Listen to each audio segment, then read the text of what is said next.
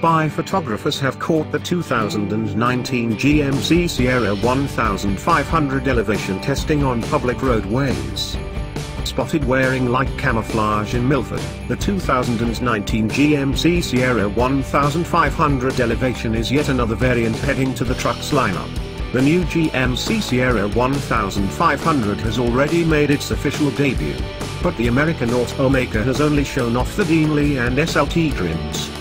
Since then, spy photographers have caught the SLE and base models on camera, and now there's the elevation model featuring another unique grill up front. Unfortunately it's covered up, but expect to see chrome slats surrounded by body color accents. The model will also features black aluminium wheels, color-matched front bumper, rear bumper, and a traditional exhaust setup in the rear. Although unconfirmed, the GMC Sierra 1500 Elevation should be equipped with the recently announced 2.7-liter four-cylinder engine for the Chevrolet Silverado 1500. That power plant is good for 310 horsepower and 348 pound-feet of torque. Look for additional GMC Sierra 1500 trim models to make their official debut in the coming months.